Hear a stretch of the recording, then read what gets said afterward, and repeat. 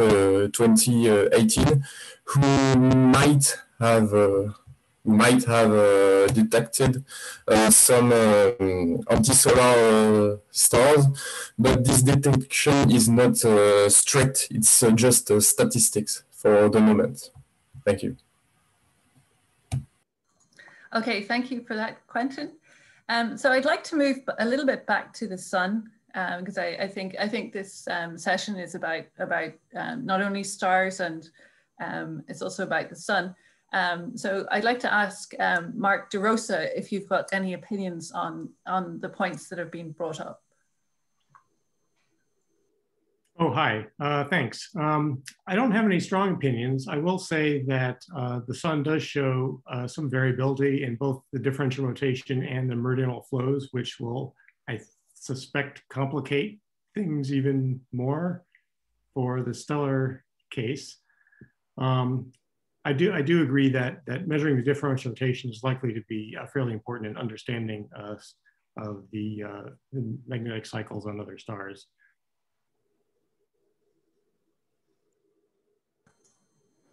And are there are there any particular parameters that we should be observing um, um, in terms of stars um, to understand the connection between the sun and other stars?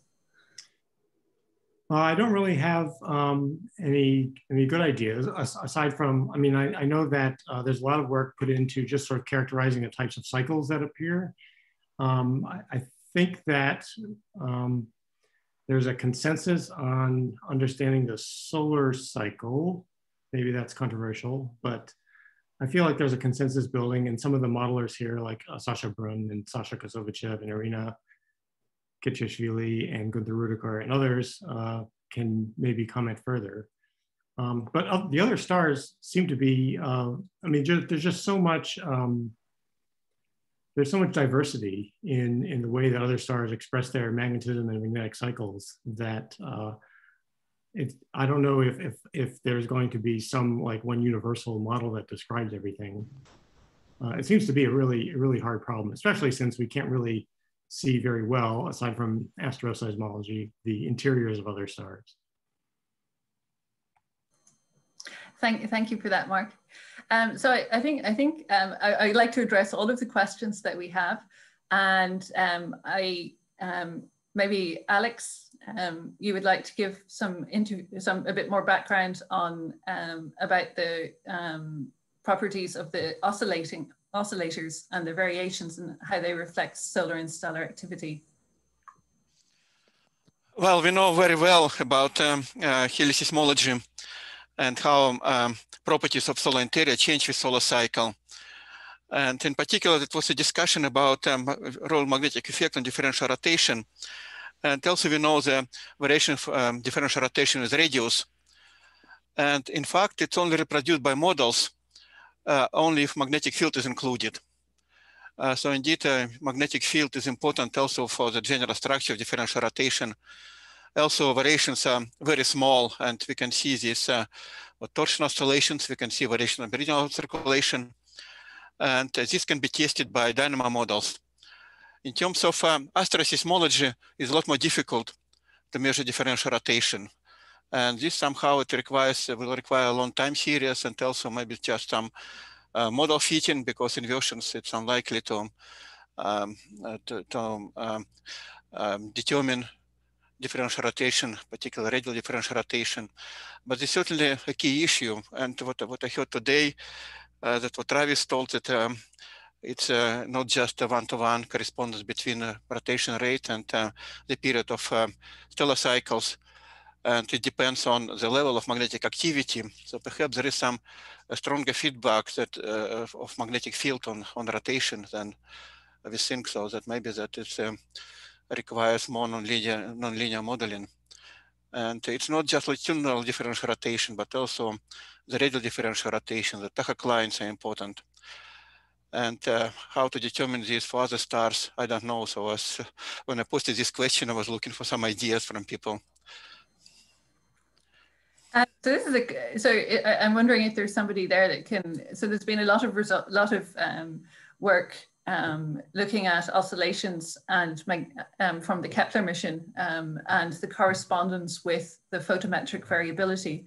Um, is there anybody here who can, I, I can't remember the results completely to, um, um, but is there somebody here who can comment on that? I can comment if you wish. Yes, please, yes. um, so uh, we have been studying the, the variations in the frequencies of the acoustic modes for solar type stars observed by Kepler.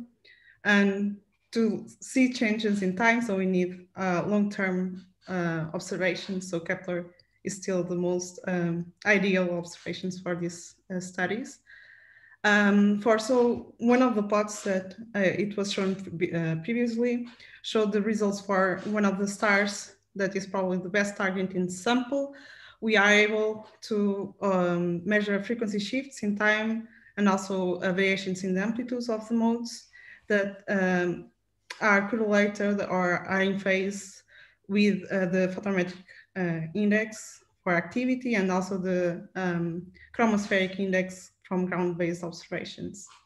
And for that star in particular, we have ground-based observations for about 20 years, and Travis can talk, uh, talk more about that. Um, and so with the 20 years of ground-based observations, we found uh, the cycle of that star to be eight years. And that, and we confirmed that Kepler observed the, uh, the rising phase of one of the cycles. Uh, for most of the stars, the other stars, we don't have independent data. It's just Kepler data, or we have um, sparse ground-based observations. So we cannot see uh, um, the correlation between the seismic indicators and the chromospheric indicators, but we can do um, ensemble studies. And so far, it seems that frequency shifts that we measure are related with activity. There's an also another interesting star, uh, study about the other star, the best target, by Alexandra Thomas. She used the frequency shifts um, to uh, uh, constrain the active latitudes of that star and that is because the, uh, the modes of different degrees um, are sensitive to different latitudes in the surface of the star. Um, so, yeah. So thank you very much for that. I understand um, that Kepler also measured the total um, irradiance of the, the total the total flux from the star um, and which that brings me to a comment that I see in the chat from Eliana um, um, Amazo, and um, she says that Faculae has a strong impact in what we observe. Um, um, maybe Eliana, you can you can say yourself. I think that's much better. I have a question. Frequency. Hey everyone. Okay, sorry, um, sorry, sorry. Yes, Eliana, I was just, uh, I... Uh, listening to the discussion. And uh, uh, as we we know, the sun uh, the sun solar cycle is uh, strongly impacted by the contribution of facula. Actually, the the variability that we observe during the solar cycle is uh, brought by facula contribution. Then I think we should pay more attention on how to observe facular contribution on other stars. And I just posted uh, one of our recent works we did on trying to understand how the facular to spot ratio on stellar surfaces of sun-like stars. Then yeah, I think we should pay more attention, not just on, on spot features, but also to, to facula of bright features that uh, bring that uh, variability, uh, cycle, cyclic variability. I think it's important to, to go there and try to to see how to observe in other stars. Mm -hmm. Thank you. Um, Gunther, you, you wanted to add something there. No, not to ask a question to the Angela's uh, comments. Ah, uh, sorry, excuse me. frequency shift. 20 years ago, I made papers about the frequency shift as a feedback of the turbulence on the oscillations.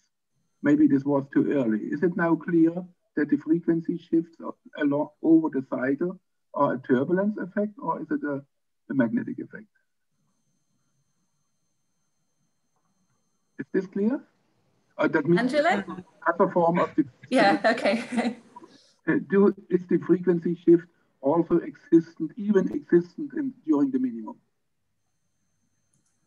If the uh, frequency shift is exists, exist, when? I didn't understand. Günther, for the sun, it's one-to-one uh, sunspot number correlation. It uh, mostly precise follows, the frequency shift follows the sunspot number um, or radio flux for the sun. So it's, uh, uh, I believe it's magnetic effect mostly. It's a magnetic effect? Yes. Okay. Surface, surface magnetic effect, yeah, that's what. Uh, or, or a feedback of the magnet of the magnet magnetic fields to the to, to the convection. Right. Yeah. Yeah. It's okay. the it's a combination of a direct magnetic perturbation, but also the effect of that perturbation on uh, so the associated changes in temperature and convective velocity near the surface. At least if you believe uh, the papers that have been written about this. Mm -hmm. This was a comment by? That's me, Travis Metcalfe. Okay, thank you. Um, so Günther, does that answer your question? Um, I must read my new the recent papers. Okay. I did it 20 um, years ago. Yeah. Uh, so I think I think we've we've gone down through our, our list of questions. Um, however, I see there's quite an interesting chat going on um, about differential rotation um, in the in the window. Um, so um, I think um, um, I can ask Antoine to um, give a summary of what you want to say. Sure, yeah, yeah. Uh, I was just mentioning following uh, uh, Eliana, um, sorry, Eliana uh, comment on faculae versus spot. I think this is very important. And also we need to think that maybe some of those stars we don't have very prominent spots or maybe no spots at all, uh, depending on how the dynamo operates inside. So we should not lose sight that we may be blind, uh, at least in some uh, usual traces we use to, to, to determine activity, uh, to, to, to detect any differential rotation or whatever effect we want on those stars, slowly rotating stars. Um, thank you for that. And um, then I think um, um, Jennifer van Saders has, is, uh, can I ask you to make a comment on, on as well, please? Sure. So uh, we have a we have a paper that just got accepted um, that actually goes. This is Ollie Hall's work, where he's pulled out seismic rotation periods for about 90 stars, um, and this is the same sample that was that we used to claim the the the stalled out spin down um, and it's kind of interesting because you could have, you know, this problem of the detectability in the solar-like stars is a there's a real issue and a real question of how much past the sun could you have gone with something like Kepler. Um, and this sample is kind of cool because it spans the whole age range and you don't necessarily to have to have had spots detected and some of them don't. Some of them are very quiet. And they too also show this strange behavior in the rotation that they're not spinning down. But that might be a good sample to, to start with in terms of probe trying to probe some of these older solar-like stars.